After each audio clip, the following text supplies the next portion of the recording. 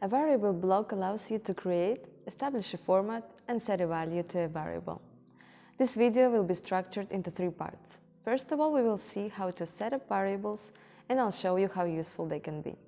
Secondly, we will see the set variable block in depth and its settings. And lastly, we will review the most frequently asked questions and answer them. So, what's a variable, you might be asking? Think of it as a box that you can name and start storing different things. Things being values as numbers, texts, and dates, etc. For example, a price that might be changing through the course of the flow. These changes are stored in the variable named price. So, to create a set variable block, just select the option from the menu and start configuring it. You can use an already created variable or create a new one. Just type the name of this new variable. Oh, and keep in mind, no spaces are allowed. Now comes the time to select the type format of the variable. This is the type of the information the variable will store. We have four options. Text, think of it as a string of characters. Number, date, and array which stores a collection of variables that are the same type or JSON objects. After you have selected the format of your variable, choose its value by writing it in the text box. If you do not plan on giving it a fixed value, you can also make it depend on other variables' value.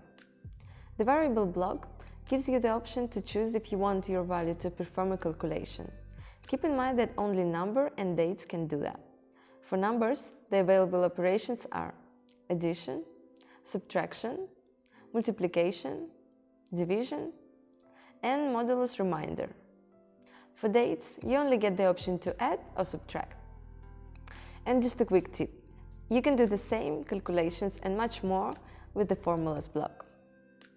Finally, after you've done all of this, your block will be set and ready to use. You will get two different outputs, success and failed.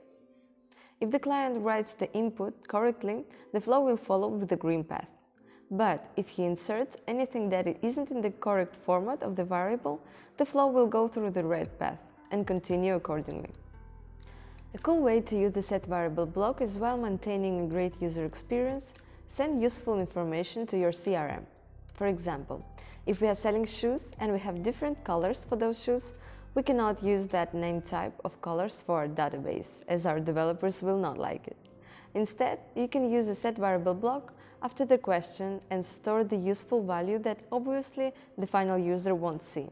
This way, your developers are happy and your CRM is organized. Great, so let's move on to the frequently asked questions. Thanks. The first one. What happens when you change the value of a set variable block? If you give a new value to the same variable and the user passes through this point of the flow, the value will be overwritten, not erased. Next question. Will the red path be triggered in mathematical operations? It can. In some cases, the green arrow will always be the path the flow will follow, but in other cases, the red path will be chosen if the inputs that the user has inserted are wrong and the calculation just cannot be made. Can I leave a set variable block empty to erase the value of a variable?